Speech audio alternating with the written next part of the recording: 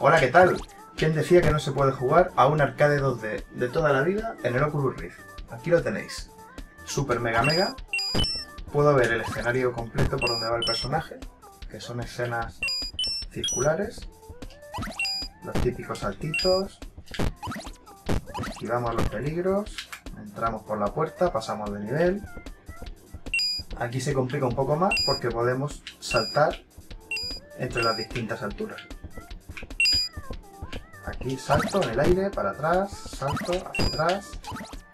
Y fijaos, pues puedo ver la fase entera a mi alrededor. El objetivo es llegar arriba. Ahora tengo el personaje detrás. Y la sensación es, pues tremenda la verdad, porque tengo los bloques delante de mí. Y bueno, es otra forma de jugar a los arcades de plataformas 3D de toda la vida.